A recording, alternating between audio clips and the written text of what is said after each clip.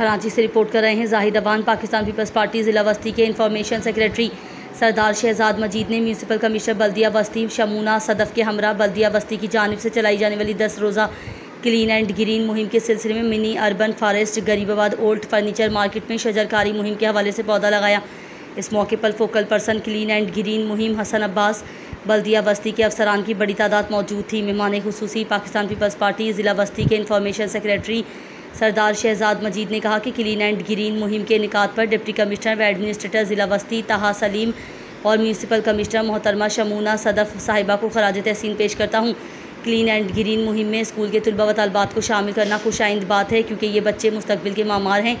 इन बच्चों को माहौलियाती आलूगी के खात्मे के हवाले से किए जाने वाले कामों के बारे में आगाही फराहम करने से हम देर पा नतज हासिल कर सकते हैं।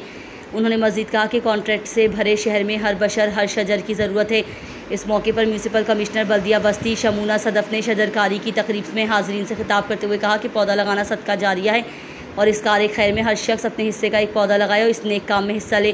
पौधे और दरख्त लगाकर माहौल को आलूदगी से बचाना हम सबकी मुश्तर ज़िम्मेदारी है। उन्होंने कहा कि आज इस तकरीब में शहरी जंगलात के क्याम का मकसद भी यही है कि आवाम को खुशगवार माहौल के साथ माहौलियाती आलूदगी से पाक माहौल फराहम किया जाए।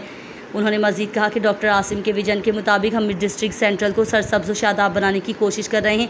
जिसमें लोगों की बिला तफरी खिदमत शामिल है।